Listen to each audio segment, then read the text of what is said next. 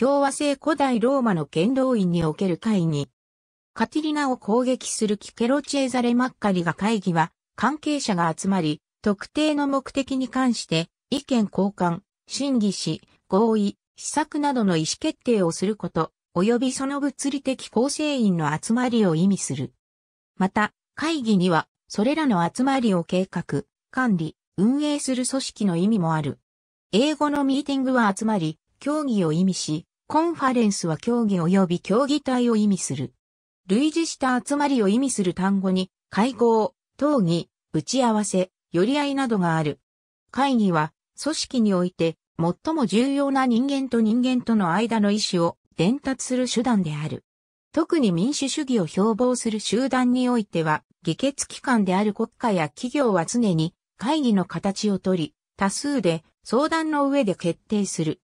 ただし、家や企業のトップが独裁的な場合には、単に形式だけの会議が行われて提出された議案が承認されるという建前に使われる場合もある。会議形式を会議体という。特に近年、会議の進行役をファシリテーターという。会議を考案し、進行役を務めるファシリテーターという専門職がある。そもそも会議は、時間や人件費など、貴重なリソースを投じて行われる。ファシリテーターは会議の進行を通じて、それら資源の浪費を防ぐ役割を担うことが多い。